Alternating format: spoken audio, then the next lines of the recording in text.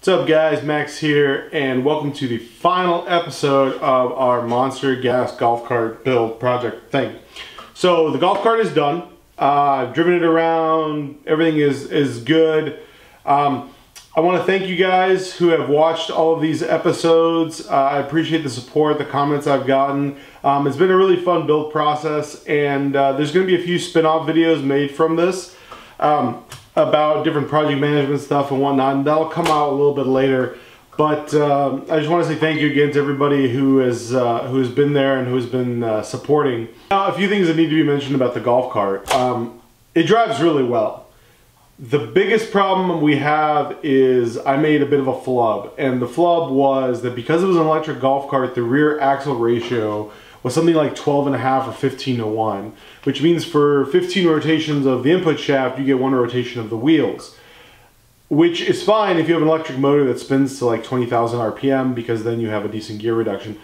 When you have a gas motor, and I don't know what the, the Yamaha Redline's at, probably like, I don't know, 8,500 or 9,000 RPM, something like that um, the problem is our top speed in sixth gear is maybe 15 miles an hour. The flip side of that is we have so much gearing that this thing will pull my truck in neutral with a tow strap. It'll actually move it.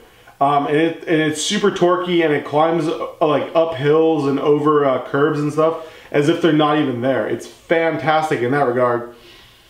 The problem is it doesn't go very fast, and to go very fast, to hit that top speed, you're basically bouncing off the limiter, so it's super loud in sixth gear. Uh, and so that's kind of a flub.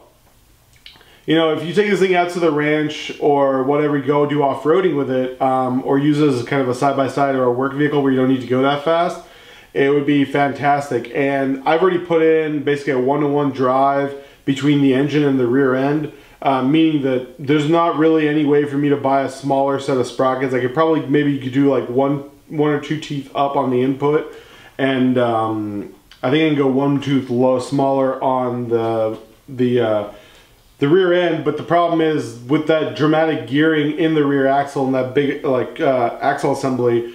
Um, there's just no real way around it other than you know removing the whole rear axle assembly and just building some sort of direct drive thing where it's got a sprocket and it's spinning just, you know, one to one like an ATV is. Um, I'm probably not going to do that. Um, this project has already been listed for sale, um, and so we'll see how that goes. Um, but it's definitely awesome to start something and build it and have it, uh, see it through to completion and have it function really well because within its limits, it does drive around really well. I, I wish there was a way for me to change that rear axle ratio.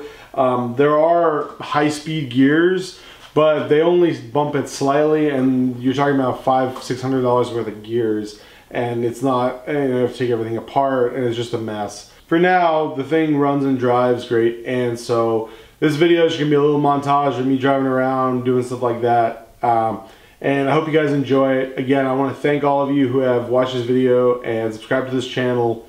I love you guys. It's been great. Peace.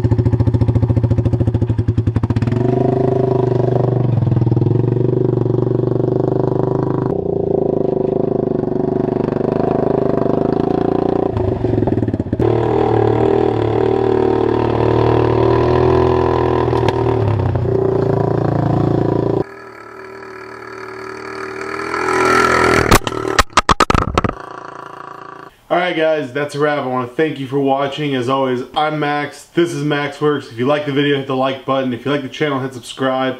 This is the final video of the golf cart. Make sure you go back and watch the playlist. You can watch all the build from start to finish. We'll be back soon with a new build project and ready to go. Peace.